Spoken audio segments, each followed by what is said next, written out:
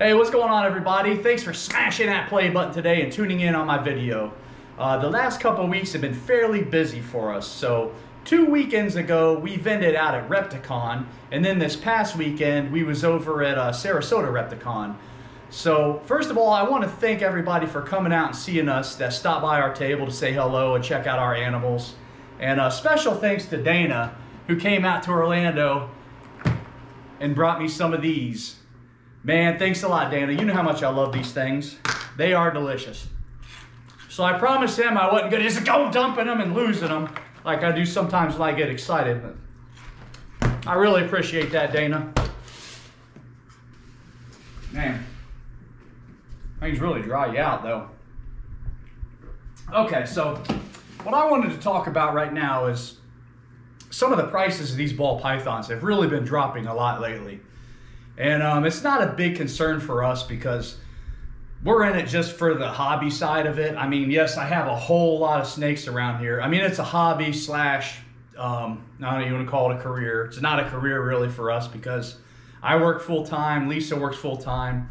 Um, we both have, you know, decent paying jobs and we'll be having our pensions. So what we're looking to do is just when we retire, we're going to make this into a full time business. And never really have to worry about the money side of it because I don't want to have to worry about selling a snake to pay a bill. I mean, that's just where I'm at with this hobby. But um, that being said, the prices have really been coming down on a lot of these animals. So uh, I wasn't really looking for anything, but I came across uh, one particular animal in Sarasota that caught my eye.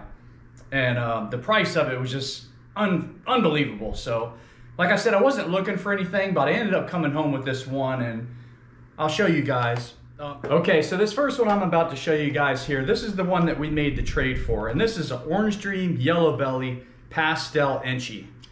And this is a female. Um, I thought she was a really cool looking animal.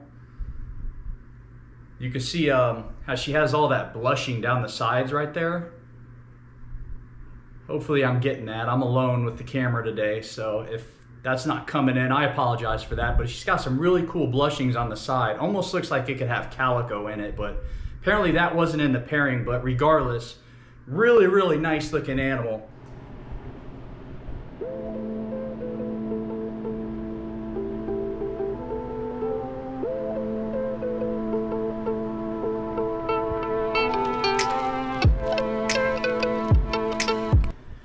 So um, guys, like I'm telling you, these prices have come down so much out there.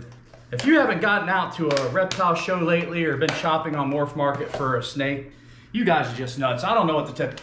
You guys need to really get out there and check out these low prices because I'm telling you, if you're not, you are missing out. Okay, so the next one I want to show you guys, this is the one that caught my eyes. And um, I don't even know if I want to say what I paid for it. It's just ridiculous. $400? no, man, no. Was it $300? Not even. We're going to roll it back to $200 for this next animal right here. And this is an Orange Dream Hypo. So it's a recessive with a codom. Sure, it's not a double or triple recessive, but $200? I mean, come on, people. How do you beat that? I mean, look at that animal right there. That's a beautiful, beautiful snake. And this is a female also. So, I mean, I really wasn't looking to purchase, but when I saw the price on this and how beautiful that animal is, man, I couldn't pass that up. So what I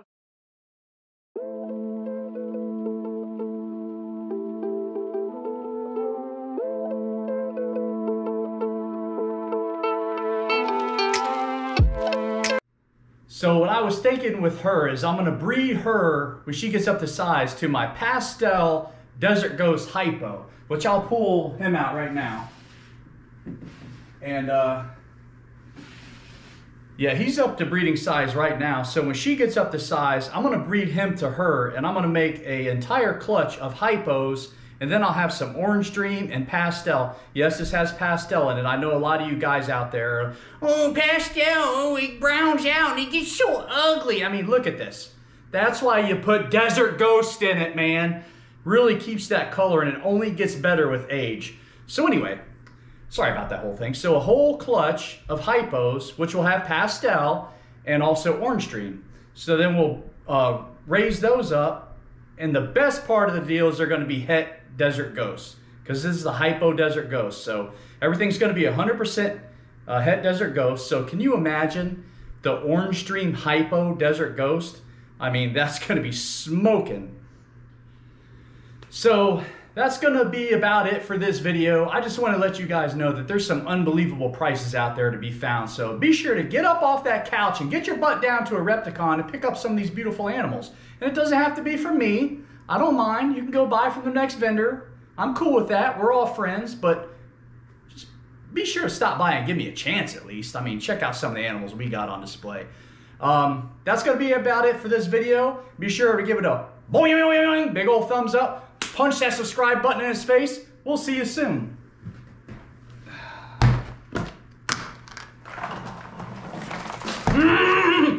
oh, sorry, Dana. I made an oopsie.